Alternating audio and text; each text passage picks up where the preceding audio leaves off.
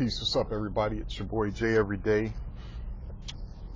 Um, my topic today is going to be the salute to woman hustle. For a number of years now, um, there have been a group of men that have catered strictly to women. You'll know these men as I name them. Um, your Tyler Perry's, your Steve Harvey's, your Drake's. Um,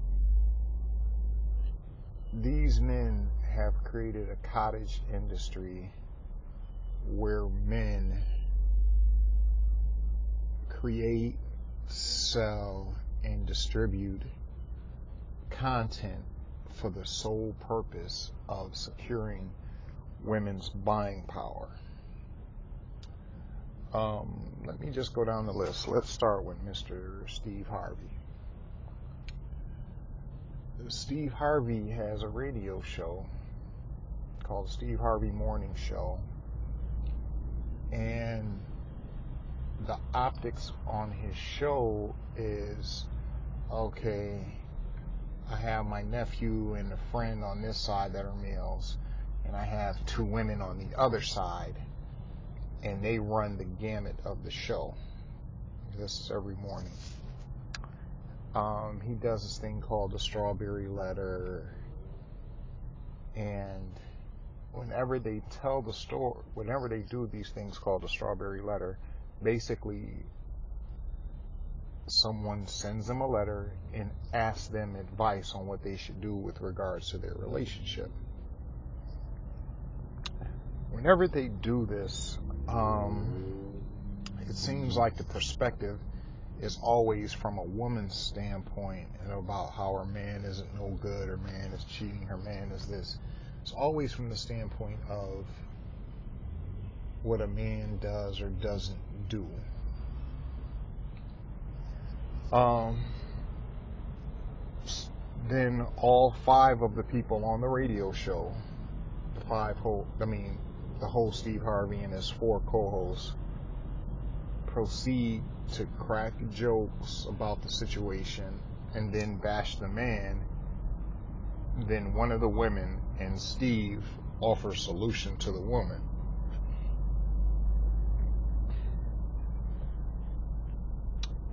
Okay, so that's one of his hustles.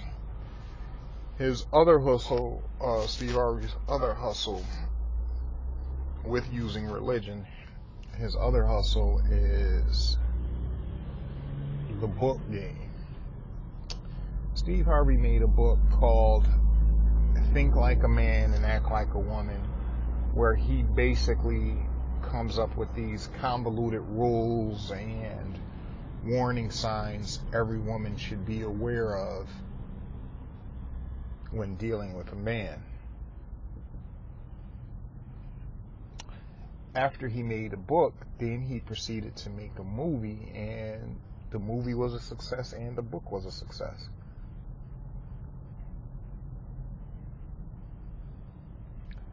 Um, let me start off by saying we live in a free country everybody is free to do whatever they want with regards to what they write and whatever kind of content they choose to create. But when Steve Harvey makes a book like Think Like a Man or Act Like a Woman, what he's really trying to do is tell women if a man doesn't do these 25 things, that should be a warning sign for you. Now, um, with his book content, um, he's made a conscious choice to cater to women. That's his prerogative. I have no no issue with it. But let's get it straight. He's not gonna make a, a book for men, a manual for men when, when dealing with women. You'll you'll never see that book from Steve Harvey. His next hustle is his TV show.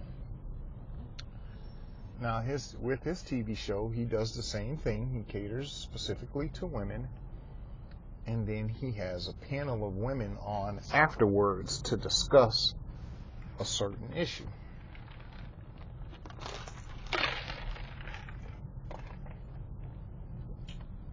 You heard me correctly. He doesn't have a panel of men, he has a panel of women. Um, the funny thing about this panel of women he has, and this is his next hustle that's coming, but people, he has two singers, two R&B singers, and he has a third woman with some type of letters or degrees behind her name. But they're offering their take on what whatever the situation is. Um, this hustle of his has made Steve Harvey a rich man. But like I said, it's a hustle and it caters to women. And part of it is he's perfected the craft of let me empower women and let me bash men, but let me do it in a joking way or let me do it in a way that consistently points out the flaws and what's wrong with men while uplifting women at the same time. So that's Steve Harvey. Next, let me get to Mr. Aubrey Graham, the rapper also known as Drake.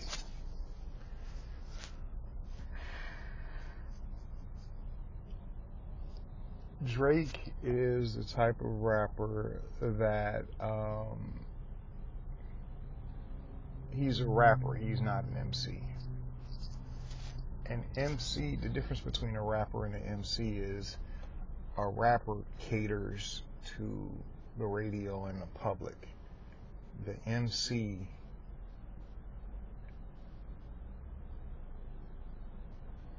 the MC makes music for the craft. The MC isn't necessarily trying to get radio or mainstream love.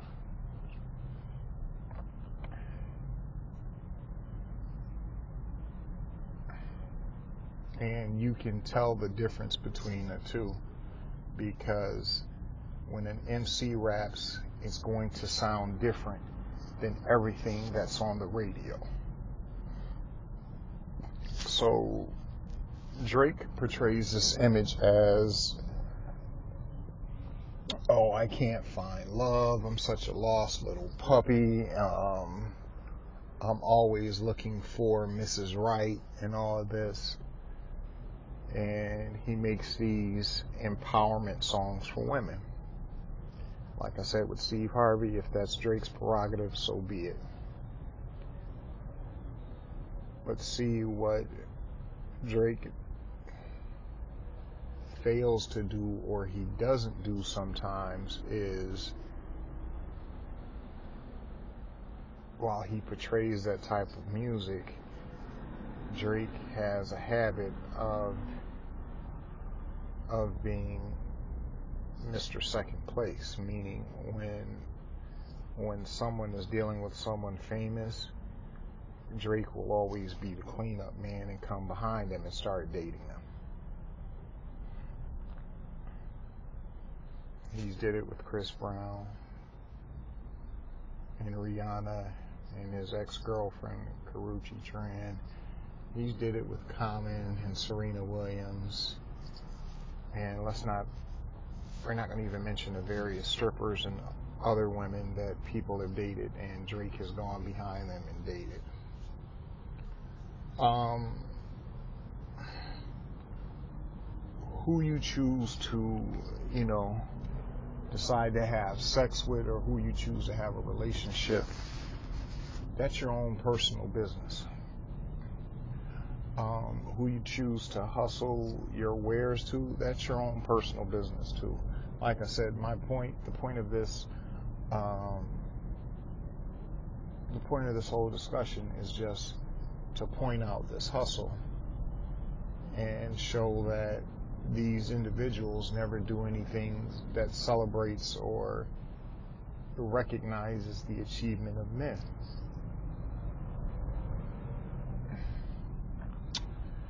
Last but not least, Mr. Tyler Perry.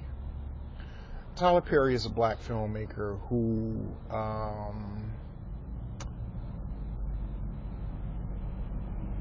he's heavy into religion and he tends to make these movies where men are seen as weak, ineffectual, soft, lacking direction and focus.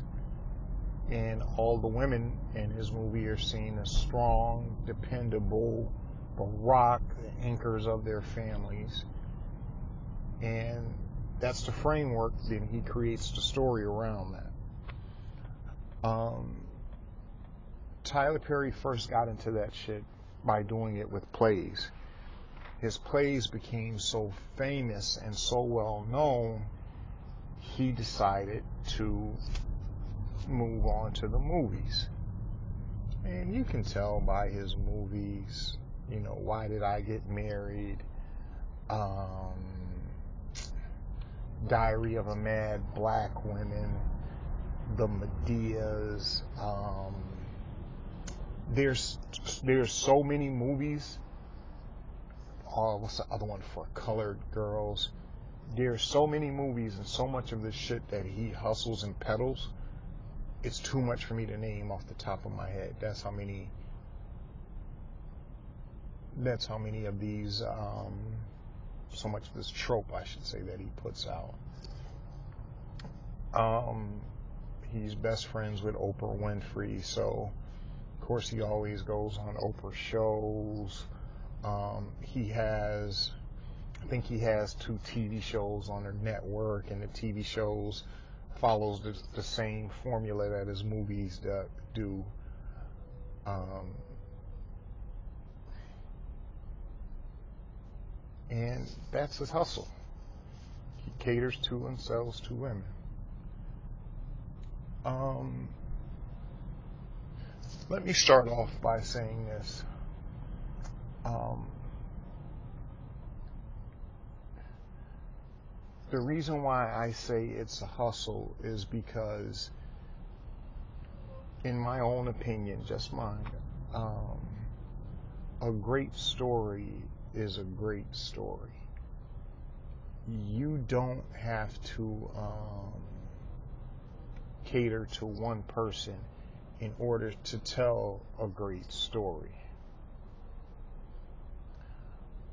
For example, um, there was this movie called Molly's Game, and it told the story of how this woman went from being a, you know, basically she started organizing her own high stakes poker games, ran afoul of the law, and her story told of how it came to pass.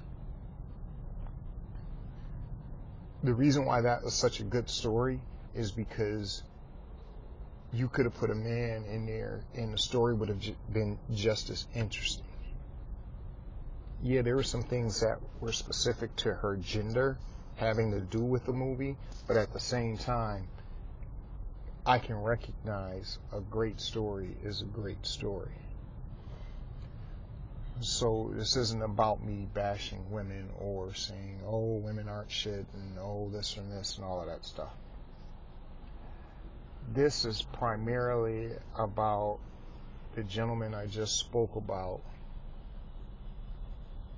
who continually create content that caters to a, to a group of people.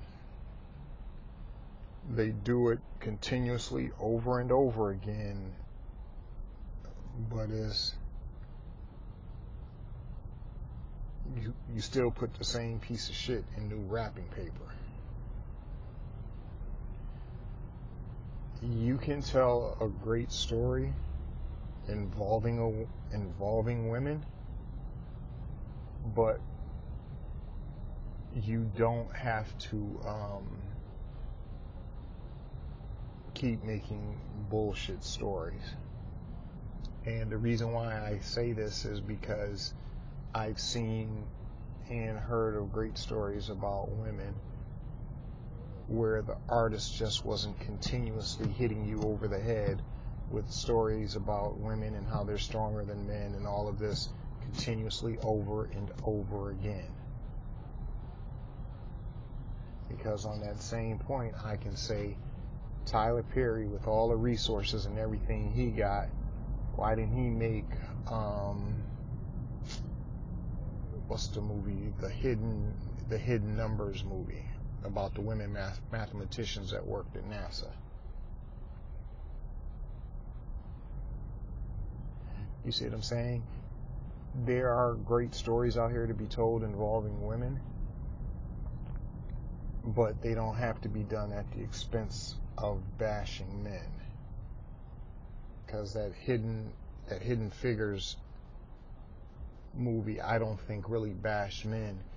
It told of a time and a place in America, but how these women were so exceptional at their specific craft, at their chosen profession, intellectually, that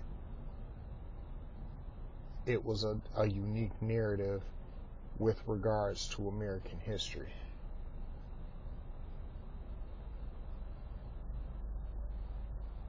So when you see certain people who continue to make product and content, but you're always in that same lane, in that same path,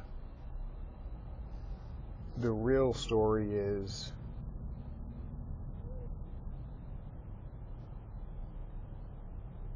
are you really a creative or are you just a hustler?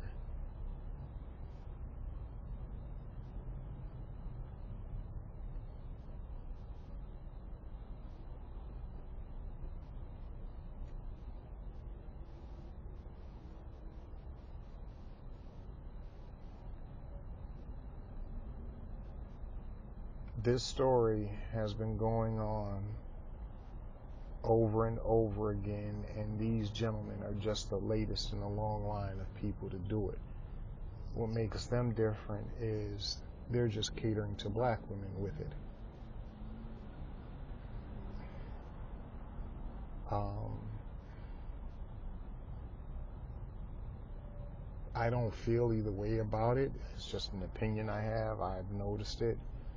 And I just wanted to put it out there in the ether and, you know, start the discussion.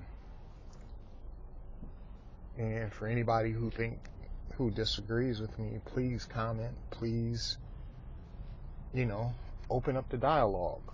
Tell me I'm wrong.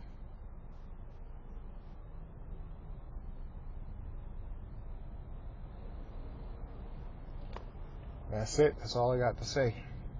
Peace. I'm out.